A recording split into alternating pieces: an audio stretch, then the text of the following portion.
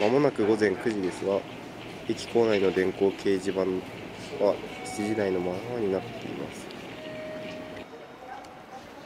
朝の通勤通学客などで混雑した JR 福島駅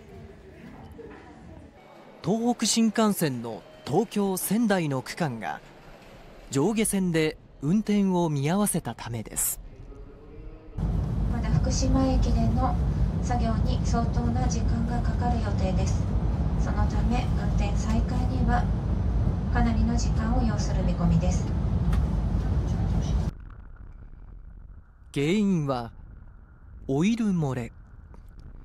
JR 東日本によりますと午前5時過ぎ福島駅で始発前に線路の異常などを調べる確認車のエンジンからオイルが漏れていることが分かりました。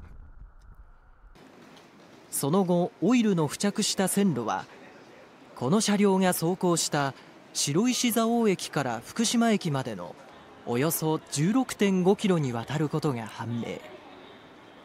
拭き取り作業などに時間がかかりました。お昼を過ぎまして東北新幹線まもなく全線で運転再開なのですが掲示板はまだ午前のままです。改札口の付近には再開を待つ人などで混雑しています。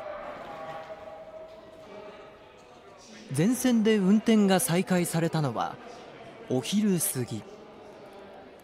朝から東北新幹線など合わせて76本が運休。4万3500人に影響が出ました。